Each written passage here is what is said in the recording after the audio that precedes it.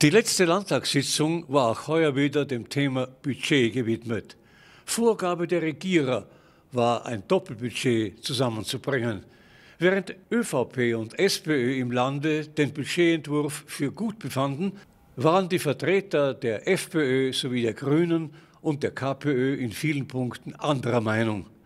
Die Kommunistische Partei ist auch rundum zufrieden mit dem Budget. Na, wir sind nicht zufrieden. Es sind die Kritikpunkte, die wir in den letzten Jahren immer schon angebracht haben. Uns fehlen natürlich Schwerpunkte im Sozialen, aber auch äh, in der Infrastruktur. Wir sind strikt dagegen, dass in der Infrastruktur gespart wird, dass man beispielsweise Spitäler, Spitalstandorte zusperrt, dass man Kleinschulen und auch andere Schulen zusperrt, dass in, im Zuge der Gemeindefusionen Infrastruktur in den Gemeinden äh, zugesperrt und geschlossen wird. Das sind eigentlich die wesentlichen Kritikpunkte und trotz dieses äh, Sparkurses, wenn ich so sagen darf, bleibt der Schulenstand gleich. Also wir verharren auf den 5,5 Millionen, äh, Milliarden Schulen, äh, die wir schon seit Jahren mitschleppen. Also da ändert sich nichts. Woran kann das liegen? Ja, das liegt daran, dass die Landesregierung aus ÖVP und SPÖ nicht gewillt ist, über andere Einnahmen nachzudenken. Das sind einerseits Landeseinnahmen, es wäre längst überfällig eine Nahverkehrsabgabe wie in Wien die U-Bahn-Steuer, um den öffentlichen Verkehr auszubauen, den Unternehmen zahlen. Äh, man könnte nachdenken über eine Parkplatzabgabe für die Einkaufszentren, also nicht im Zentrum, aber an der Peripherie etc. Und dann, das ist das Wesentliche, wir brauchen einen anderen Finanzausgleich. Es ist unerträglich, dass der Salzburger, der Vorarlberger, der Wiener pro Kopf mehr wert ist als der Steirer. Wenn wir hier das angleichen würden auf, den, auf die westlichen Bundesländer, dann würden das Land Steiermark, aber auch die Gemeinden, die auch vom Finanzausgleich leben, äh, deutlich mehr Mittel zur Verfügung haben. Und da ist unsere Landesregierung offenbar nicht fähig, hier anders zu verhandeln. Die FPÖ im Bund koalitionär, in der steirischen Landespolitik Opposition.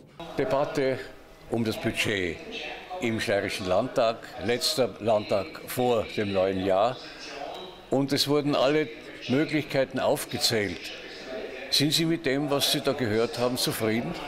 Ja, ich muss einmal grundsätzlich sagen, natürlich bin ich mit dem Budget oder diesem Doppelbudget überhaupt nicht zufrieden, weil das ist wirklich, es wird immer gesprochen natürlich von enkelfitten Politik äh, der Zukunftspartnerschaft, aber tatsächlich muss man sagen, dass bei diesem Budget eigentlich handelt es sich um ein enkel- und urenkel belastendes Budget und natürlich kann mit diesem Budget, mit diesem Doppelbudget nicht zufrieden sein. Nicht zufrieden?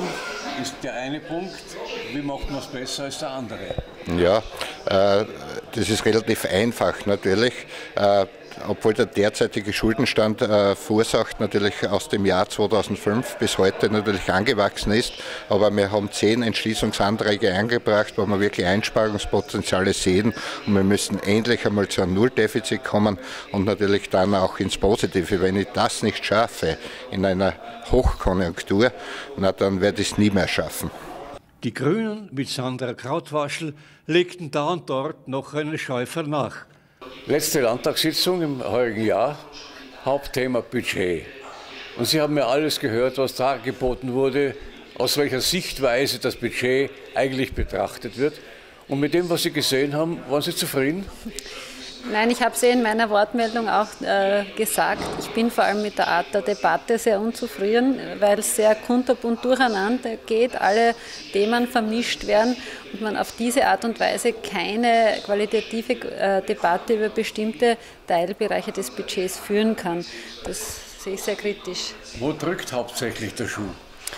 Im Budget drückt bei mir der Schuh in erster Linie bei zwei Bereichen, zu denen ich auch gesprochen habe. Das eine ist Umwelt- und Klimaschutz.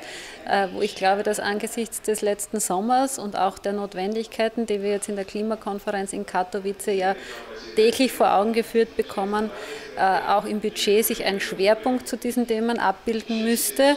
Also sprich, man für alle Entscheidungsbereiche, äh, die klimarelevant sind, auch das priorisiert. Das bildet sich nicht ab im Budget aus unserer Sicht. In vielen Bereichen werden zwar ansatzweise Dinge umgesetzt, aber wirklich diese große Bekenntnis, das auch finanzielle Bekenntnis für diese Bereiche ist aus dem Budget nicht ablesbar und das ist für mich ein großer Fehler, weil wir nur mehr wenige Jahre haben, um das zu gewährleisten. Nun haben die Politiker wieder Zeit, auch noch alte Wahlversprechen einzulösen. Es gibt noch genug zu tun in diesem Lande. Alle sind gespannt, wie es dem zuständigen Finanzlandesrat gelingen wird, dieses Doppelbudget wirkungsvoll einzusetzen, um einen immer wieder angestrebten Nulldefizit merklich näher zu kommen. Andere bringen es zustande.